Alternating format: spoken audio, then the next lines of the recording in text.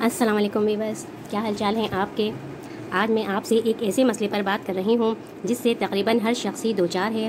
पहली किस्म के वो लोग हैं, जिन्हें हर वक्त नज़ला, ज़ुकाम, खांसी, बलगम, भूलने की बीमारी, असाब की कमज़ोरी आधे सर का दर्द, जिसे माइग्रेन भी कहते हैं, रहता है। और दूसरी किस्म के लोग वो हैं, जिनका हर वक्त मोबाइल फ़ोन, कंप्यूटर, इंटरनेट और इस तरह का वो हर वक्त ऑनलाइन काम करते रहते हैं, जिसकी वजह से उनकी कैफियत भी काफ़ी हद तक पहली किस्म के लोगों जैसी हो जाती है। सर चकराया हुआ रहता है, दिमाग हर वक्त सुन रहता है।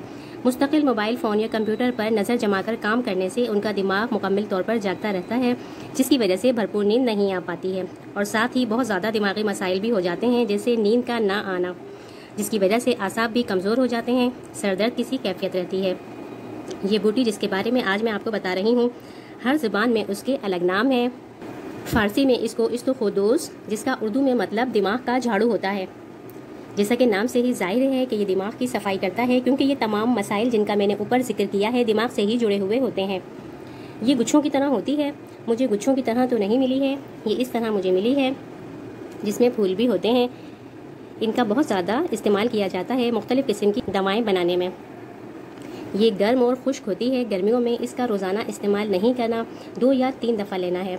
याद रखें, इसका कहवा हमेशा रात में बनाकर पिएँ, क्योंकि इसमें नींद होती है। उस वक्त पिएँ जब आपको कोई काम ना करना हो, बल्कि आपको सोना हो, क्योंकि इसे पीने से नींद आ जाती है। जैसे कि आप खांसी की जो दवाएँ होती हैं, उन पर हिदायत पढ़ते हैं तो उन पर लिखा हुआ होता है कि इसको पीकर आप कोई मशीन ना चलाएँ या ड्राइविंग ना करें, क्योंकि उसमें नींद होती है, जिससे कोई हादसा हो सकता है। हफ़्ते में इसको दो या तीन बार बनाकर आप पिए, इसका कहवा बना लें। तो इससे आपको भरपूर नींद मिलेगी, जिसकी वजह से आपके दिमागी मसाइल हल होंगे, जिसमें सर चकराना, दिमाग का सुन रहना, भूलने की बीमारी आधे सर का दर्द, नज़ला, खांसी, बलगम, इन सबसे भी निजात मिलेगी।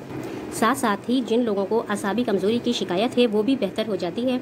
ये दिमाग को, मैदे को और असाब को ताकत देता है रिया को खारिज करता है। इसको मुस्तकिल आप अपना इस्तेमाल में रखेंगे। तो यकीनन आपके तमाम मसाइल का हल होगा। अब मैं आपको बताती हूँ कि आप इसका कहवा किस तरह से बनाएँ। ये जो डंडियाँ हैं, आप इनको हटा लें। ये देखें, ये इसके फूल हैं। ये तीस रुपए की आपको पंसारी के पास आराम से मिल जाएगी और ये इतनी सी हमने इस्तेमाल करनी है। एक कप कहवे में इतना सा हमने लेना है। इस तरह की जितनी भी जड़ी बूटियाँ होती हैं, याद रखें, उनमें मिट्टी होती है, उन्हें आपने अच्छे से साफ़ करना है। ये इतनी सी एक कप कहवे के लिए मैंने ली है। इसको आप एहतियात से थोड़ा सा वॉश कर लें। ताकि इनकी मिट्टी निकल जाए। क्योंकि अगर आप इनको वॉश किए बगैर इस्तेमाल करेंगे तो इससे आपके गुर्दे में पथरी हो सकती है। तो बजाय फ़ायदे के उल्टा आपको नुकसान होगा। एक कप पानी है, उसमें ये डालें। एक चम्मच चीनी।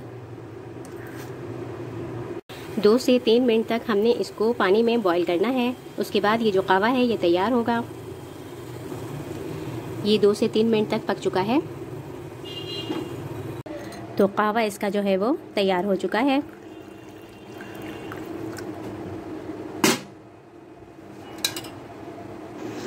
ये फ़ायदेमंद कहवा जो है, ये आप बना कर पिए। आपको आपके तमाम मसाइल से इन ज़रूर निजात मिलेगी। साथ ही आप अपने लाइफ स्टाइल स्टाइल को भी बेहतर करें। रात में जल्दी सोएँ, सुबह जल्दी उठें। तो इन बहुत से मसाइल वैसे ही हल हो जाएँगे।